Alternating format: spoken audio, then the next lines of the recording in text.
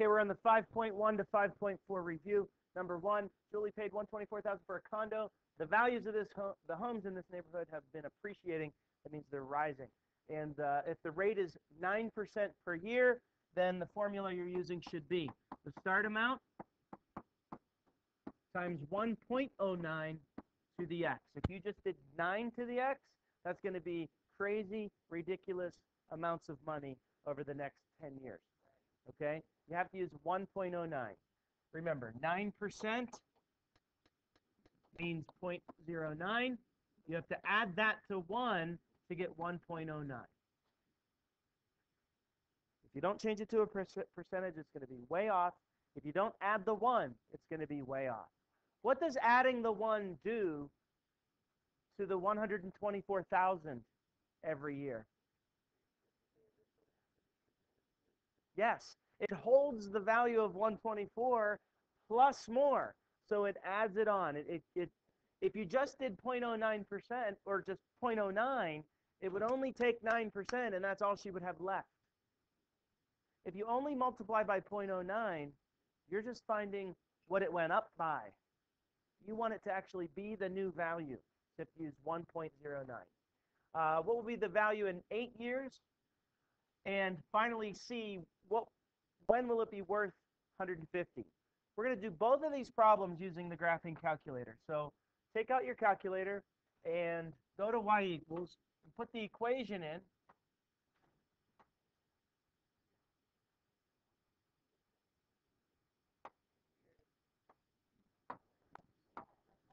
Hundred twenty-four thousand times one point zero nine to the x.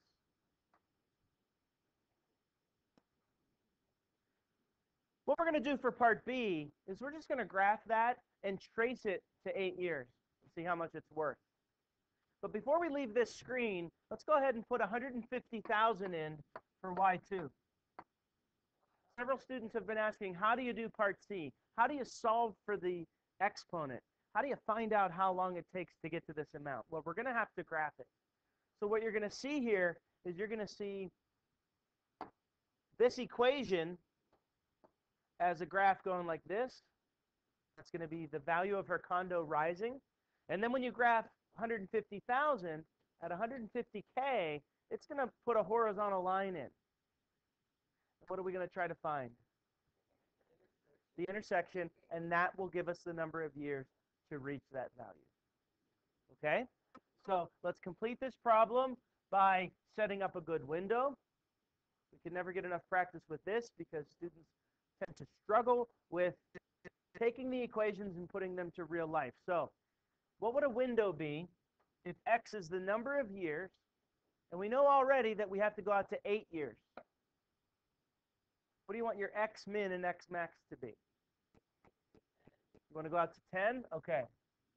We'll see how much her house will be worth in 10 years. Well, if we only take our y max to 10, which it is right now, we're going to find out when her house is worth 10 bucks. What's wrong with that?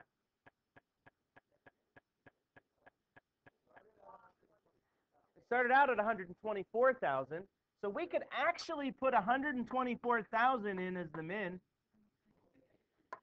It is. Okay? You could actually put that in as the min, and then what do you think it's going to max out at? 300,000, great. Now, when we graph this, we're going to see a curve and a flat line.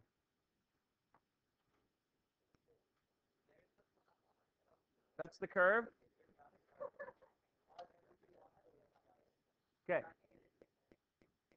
So, step one. How much will it be worth in eight years? All you have to do is trace eight, enter. 247,077. That's going to be the value of her home in eight years.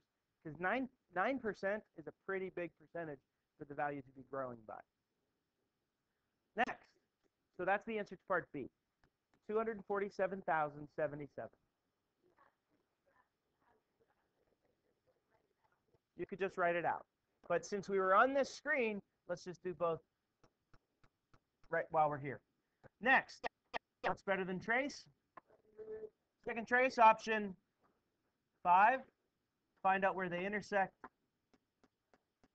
There you go. In only 2.2 years, her home will cross $150,000. So that's how you do number one.